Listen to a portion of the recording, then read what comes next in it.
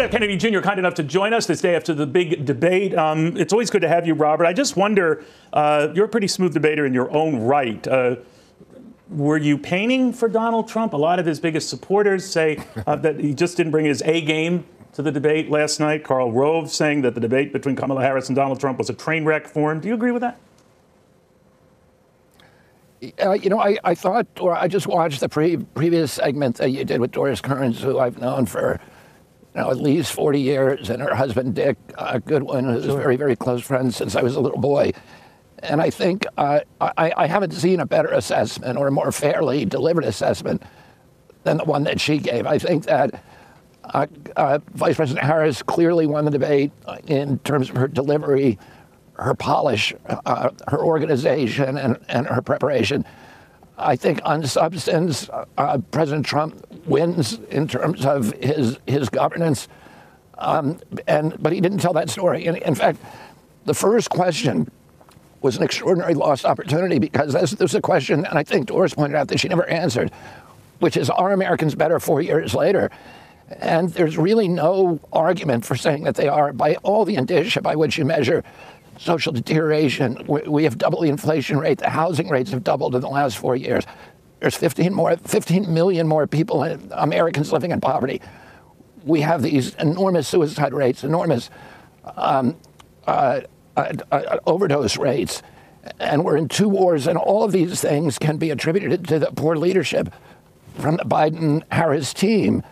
And that's the argument that he should have been making, but and, but he got distracted. Yeah. And uh, I think it's unfortunate because he, you know, I think he really had an airtight tight argument for his presidency, but he was not able to make that case to the American public. He says, and he's commented a couple of times today, that he, he won the debate, and all the polls show that he won the debate. I haven't seen a single one to show that. What did you think of that reaction? Well, I have seen those polls. You know, they're not. Uh, they're they're polls that uh, you see on uh, you know, on the on the internet, and um, and a lot of them probably have uh, have uh, uh, statistical problems with them. Right. But I, I would suspect that the polling over the next week is going to show, you know, probably a slight drop in his support, particularly among independents, as people migrate, you know, because I think uh, it was the first introduction that Harris had to the American people. She's been very skillfully kind of hidden and she has not done an interview. And this was really an ideal forum for her because there are these 90 second sound bites and you don't really go into the next level. And I, I, think that that she's very vulnerable in a in a like a long form interview that she'd do on a podcast or on a program like this. I think this is the ideal forum for her to display, you know, her kind of skills. And I think she did that very well. And I think President Trump did not tell his story, which is a, a very, very good story about his presidency. And I, I think that he didn't convey that as well as he could. But just to be clear, then, Robert, you are not changing your mind uh, or fearing that you hooked up with the wrong horse here, that you're still supporting him to take the White No, no on, the, on the issues that I consider important. I mean, look, I what what you know, I was listening to the substance, and on the substance, President Trump wins on, on the war. You know, uh, Vice President Harris bragged about the endorsements by John Bolton and by um, by Dick Cheney and you know 225 neocons who have come out who have come out to support uh, Vice President Harris this week. These are the people that gave us the Iraq War. These are the people who have given us the endless forever wars. These are the people who gave us the Patriot Act, the surveillance state, the, the censorship state. And they're not changing their affiliation to the Democratic Party because they've changed their beliefs and their values. They're changing it because the Democratic Party has dramatically changed. It's become the party of war.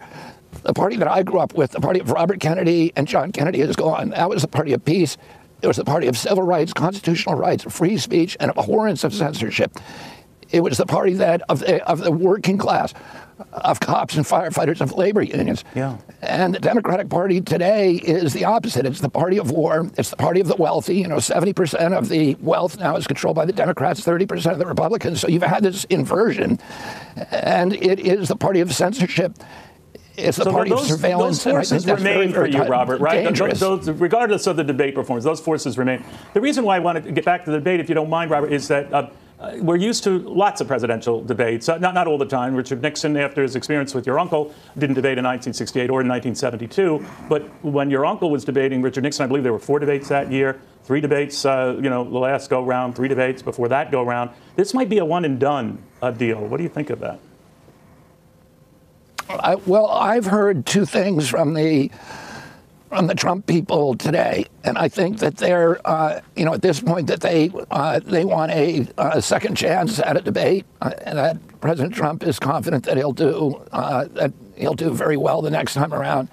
Uh, but I don't know whether the Harris campaign will agree to that. Uh, they so I don't know what's going to happen. And as you know, Neil, this is the craziest election in history. It's the craziest election that you've ever seen, that I've ever seen. It's topsy turvy. It go, you know, you look back at just a month ago when you know, President the day in the days after the shooting at Butler, President Trump was invincible, and then President Biden pulled ahead. President Biden drops out. President Harris pulls ahead. You have the convention. She doesn't get the bump. President Biden pulled it over the last week. Uh, President Trump has pulled ahead again. So this all happened in this very, very accordion time frame. We have 52 days left in this election, and I would not be a person to make predictions about what's going to happen next. No, I hear you on that. If you heard and read the script, you'd think it was something out of Hollywood. It's real. Uh, Robert F. Kennedy Jr., yeah. great seeing you again. Thank you. Yeah, you too, Neil.